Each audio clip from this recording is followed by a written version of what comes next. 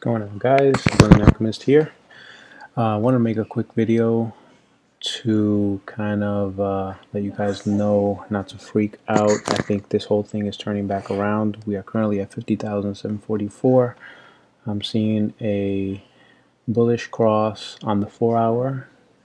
Um, so I'm back in on my trade with the allotted uh, amount that I have of Bitcoin to trade aside from my holding bag, hodl bag.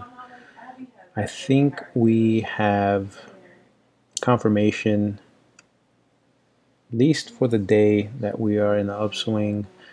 I would like to see a little more volume here. Um, if we step back looking at the day chart, I think uh, this is the worst that it's going to be. I'm seeing a bounce here on the MFI. And uh, yeah, I think we're pretty good. Um, looking at Ethereum, I, it should be doing the same uh, that Bitcoin is doing. And yes, hasn't quite crossed over MACD um, bullish cross up but I think we will be seeing that change in the next one or two hours. If we get out of um, the Heikin Ashi candles I see that we're pushing up.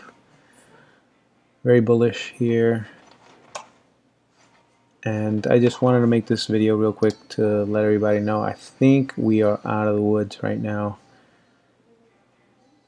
Uh, Cardano. I think it's super on sale. Good time to get in if you have some cash.